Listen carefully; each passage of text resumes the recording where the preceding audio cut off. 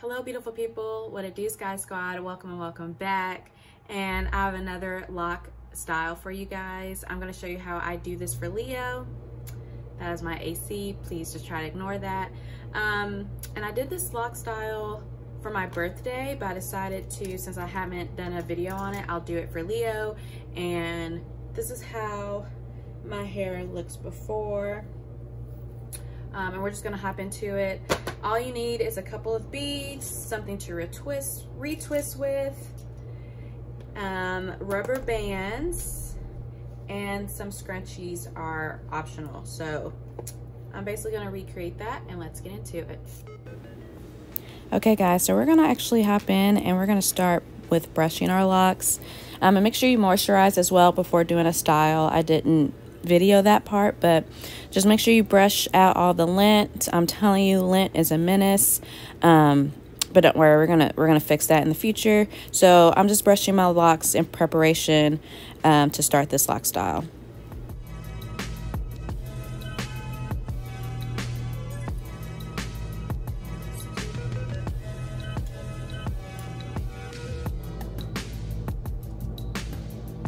Essentially I'm just figuring out which parts I want to leave out because I will be twisting my hair so the front two pieces will be the ones that stay out and I'll just put beads on them and I'm basically taking the first two to three rows in the front of my head because I will be twisting them backwards then twisting them down and adding beads at the end.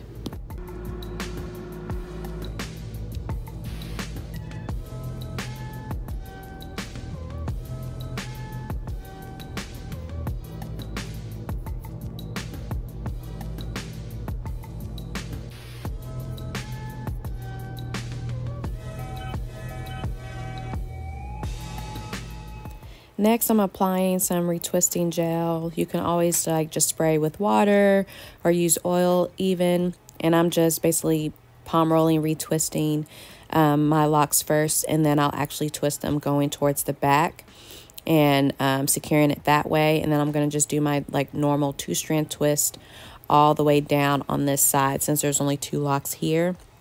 Um, but the next row I have like three, so I can show you how to do that one as well.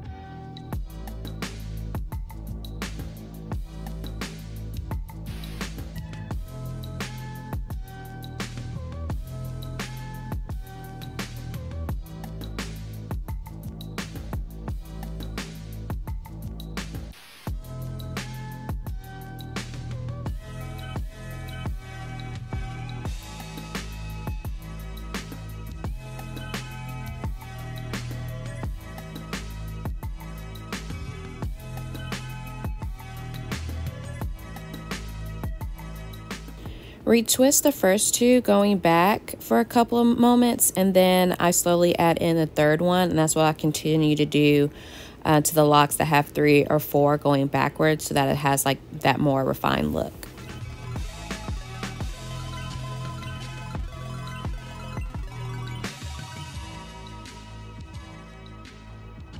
Let's say you are twisting your hair and you have one that's extremely long and one that is short um, go ahead and put the bead on their longer one and do a couple of more twists afterwards and then just wrap the longer loc around.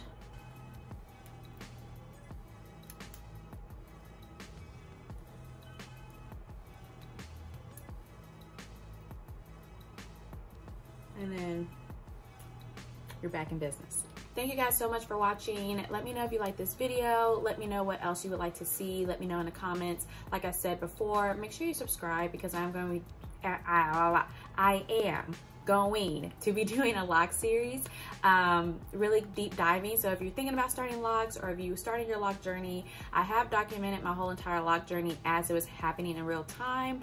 Um, but then I'm gonna like revisit and like pretty much see if the advice I gave back then is something I would still stand by today. And if there's anything additional I would say now that I'm six years beyond that. So make sure you subscribe, make sure you like up this video and leave me a comment down below. I love to connect with you guys. And yeah, until next time, peace.